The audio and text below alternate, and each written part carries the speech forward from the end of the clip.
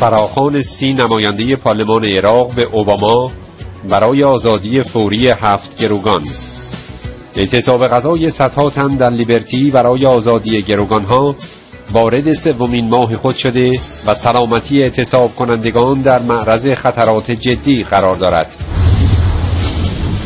دخالت فوری و مستقیم شما برای نجات هفت گروگان و تضمین حفاظت کلیه ساکنان لیبرتی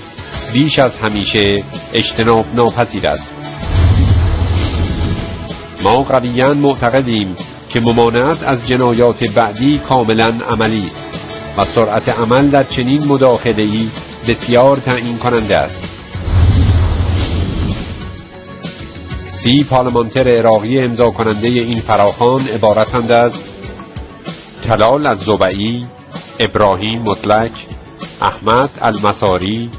حمید از زبعی حیدر ملا عبدالله الجبوری عبد زیاب لقا مهدی بردی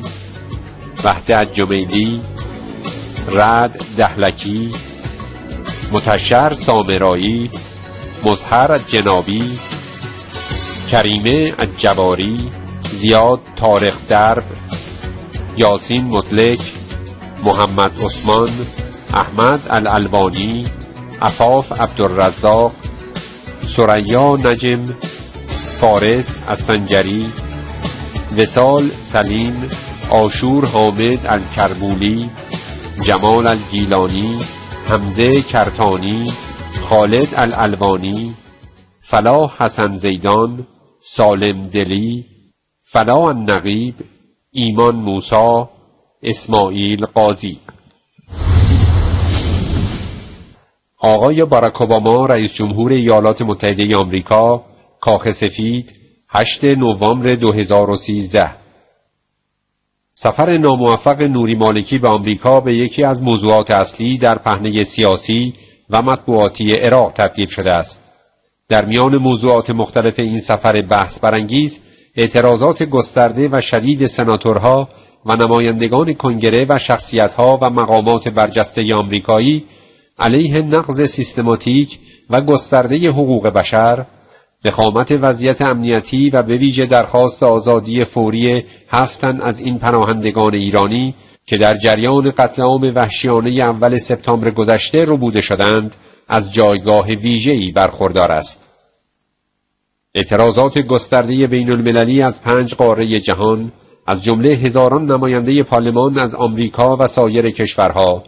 و همچنین ابراز خشم رؤسای کمیته های خارجی کنگره و سنای آمریکا علیه بیاعتنایی و بیعملی دولت عراق جهت آزادی فوری و بلادرنگ این هفت گروگان تا همین لحظه بی پاسخ مانده است.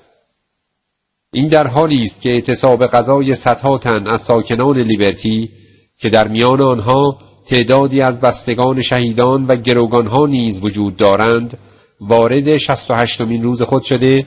و سلامتی اعتصاب کنندگان در معرض خطرات جدی قرار دارد ما نمایندگان پارلمان عراق امضا کننده این نامه و همچنین بسیاری دیگر از همکارانمان تا کنون بارها از طریق صدور بیانیه ها و اظهارات مطبوعاتی و ضمن حمایت از خواسته های اعتصاب کنندگان خواستار آزادی بلادرنگ این گروگان ها شده ایم. اما متاسفانه تا این لحظه با بیاعتنایی و بیعملی دولت عراق در این رابطه مواجه بوده ایم. از این رو همانطور که در نامه مورخ 31 اکتبر خودمان به شما نوشته بودیم ضمن یادآوری مسئولیت‌های مشخص و مستقیم دولت آمریکا در تضمین حفاظت و سلامت سه هزار پناهنده اعضای مجاهدین خلق ایران مستقر در عراق تا تعیین تکلیف نهایی معتقدیم دخالت فوری و مستقیم شما برای نجات جان هفت گروگان و بازگرداندن آنها نزد دوستان و خانواده هایشان و تضمین حفاظت کلیه ساکنان لیبرتی بیش از همیشه ضروری و اجتناب ناپذیر است. ما قویا معتقدیم که ممانعت از جنایات بعدی و خسارتهای انسانی دیگر که در انتظار گروگانها و تعداد زیادی از اعتصابیون در سومین ماه اعتصابشان است کاملا عملی است و سرعت عمل در مداخله فوری از جانب شما بسیار تعیین کننده است. با احترام و در انتظار اقدامی عاجل نمایندگان پارلمان عراق تلال از زبعی ابراهیم مطلق احمد المساری حمید از زبعی حیدر ملا عبدالله الجبوری عبد زیاب لقا مهدی وردی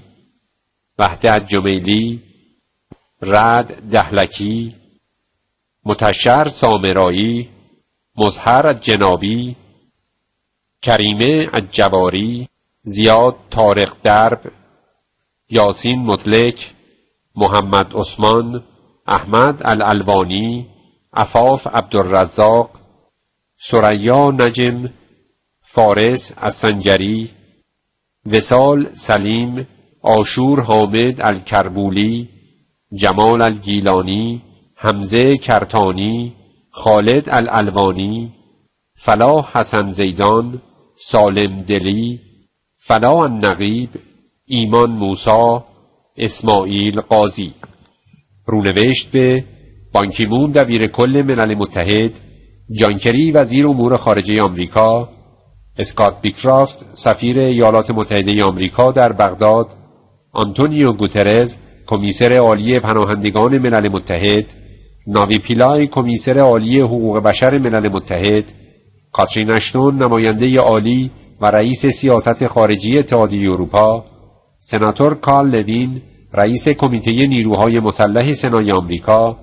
دکتر آلخو ویدال کوادراس نایب رئیس پارلمان اروپا استران استیونسون رئیس هیئت رابطه با عراق در پارلمان اروپا.